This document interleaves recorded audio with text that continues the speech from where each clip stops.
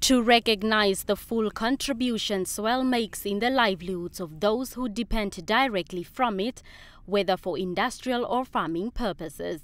The United Nations General Assembly set aside this year to raise awareness about the critical role of soil. Different types of soils remain a key in addressing the pressures of growing population, food security, as well as healthy ecosystems. Namibia's over 60% rural population survive from direct farming activities, relying on suitable natural habitat. The Deputy Director at the Agriculture, Water and Forestry Ministry's Crop Research and Production Division, Dr. Benedict Malima, says that farmers now more than ever need to get involved in soil restocking processes due to the recorded global climatic changes, not to forget the country's own unpredictable weather conditions.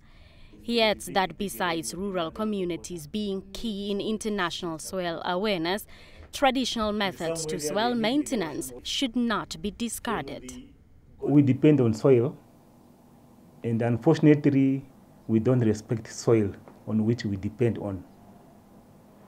Secondly, we need to know the contribution of soil for food security and the poverty alleviation, and of course, even sustainable development. Now, uh, we can only achieve this one if we can try to come up with technologies and also other management skills which can give the soil a, a breath for the production. The ministry recently also released food security report for December stating that food security and harvesting in some regions were weakening because of the various factors intertwined with soil sustainability. The United Nations Food and Agriculture Organization FAO, however, is optimistic that Namibia's agriculture-dependent communities can help mitigate soil erosion and degradation.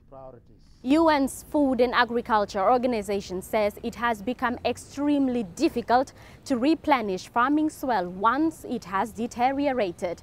Now in the case of Namibia, where some areas are extremely fertile and others not, FAO is confident that farming outputs from areas with good soil fertility can complement those with low soil fertility.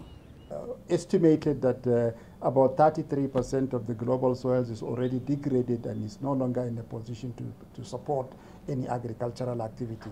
So um, it's important that uh, we take measures to avoid further degradation and depletion of the soils. Um, farming has been going on on the soils. We've been removing nutrients from the soil mm -hmm. without uh, replenishment. So as a result, there's a lot of depletion in terms of nutrient content of the soil and, and very soon um, we will find our uh, we'll find ourselves in a situation where um, we have to deal with a very huge crisis in terms of sustainable agricultural production because the soil is no longer productive.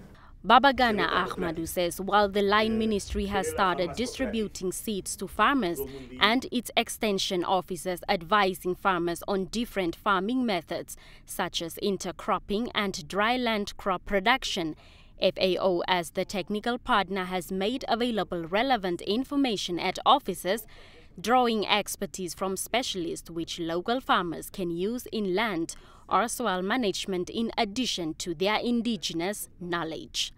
Blanche Koreses, NBC News, Windhoek.